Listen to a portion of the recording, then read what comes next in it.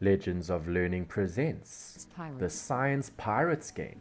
This is a science game that makes learning about the scientific method fun and easy to understand. In this informative instructional game, apply the scientific method to help the science pirates uncover the mystery behind the missing fish. This game will teach you more about the scientific method by guiding you through the process from start to finish. Start with observation and use the arrow keys to observe all the fish and the garbage in the ocean. Then use the number pad to select the correct number of fish and garbage items observed in order to proceed with the scientific method.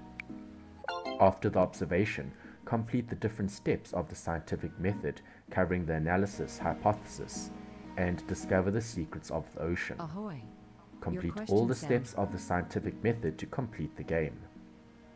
Use your knowledge of science to complete this Use fun and educational game. So far to choose a Are you ready for the challenge? Can you complete the the journey under the between the sea as you learn the more about the scientific method?